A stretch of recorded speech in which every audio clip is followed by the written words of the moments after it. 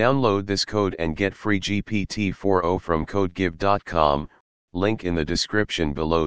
Blood pythons, Python brongersmai, are a species of python native to Southeast Asia.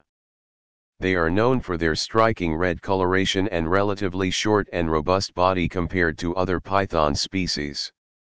Blood pythons have a reputation for being defensive and sometimes aggressive, which has led to the misconception that they are mean or difficult to handle. However, it's important to understand that a blood python's behavior can be influenced by various factors such as handling, husbandry, and individual temperament.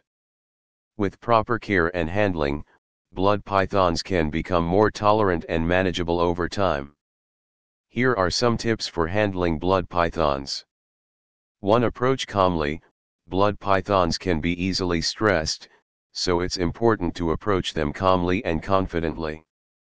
Sudden movements or loud noises can trigger defensive behavior. To support their body, when handling a blood python, make sure to support their body properly. This helps them feel secure and reduces the likelihood of them feeling threatened. 3. Read their body language, blood pythons may exhibit defensive behaviors such as hissing, puffing up their body, or striking when they feel threatened. It's essential to be aware of these signs and give the snake space if needed.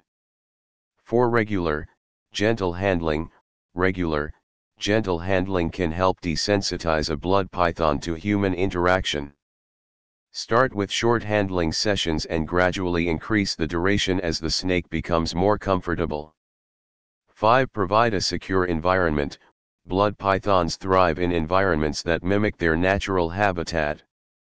Ensure that their enclosure is appropriately sized, with hiding spots, proper temperature gradients, and humidity levels. Here is an example Python code snippet to simulate a basic interaction with a blood python. Remember, every blood python is an individual with its own personality, so patience and understanding are key when interacting with them. With proper care, respect, and handling techniques, blood pythons can become more comfortable and less defensive over time.